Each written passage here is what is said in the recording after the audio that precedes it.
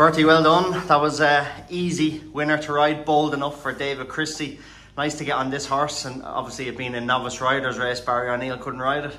Yeah, no, sure, look, Barry couldn't ride it there, and he got on the phone to David. I rode two for David there in Oldcastle there two weeks ago, and he threw me up on this side there today. Uh, fair horse now to get on, to be fair. Looked oh, a great spin the whole way around. He Oh, jumps so well and travels so well. easy. He knows more than me. Just sit there now and he'll do the rest, to be fair to him. yeah. Be a passenger. Be a passenger the way.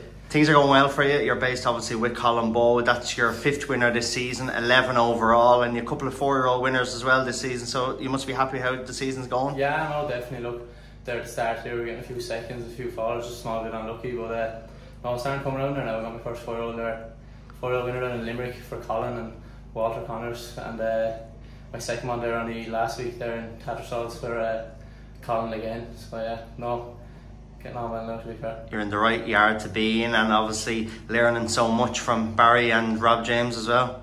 Ah, yeah, definitely. Look, Colin's been a massive help to me there, and he's put me through plenty. and Barry, being being able to look at Barry and Rob there every day, and having them nice to talk to and guide you along. You know, it is a massive help to me. So yeah, definitely. No doubt, hopefully, a few more winners before the season ends. Yeah, look, please God, there's a few more weekends left now, and Colin has plenty of horses there, and hopefully get a few outside rides as well.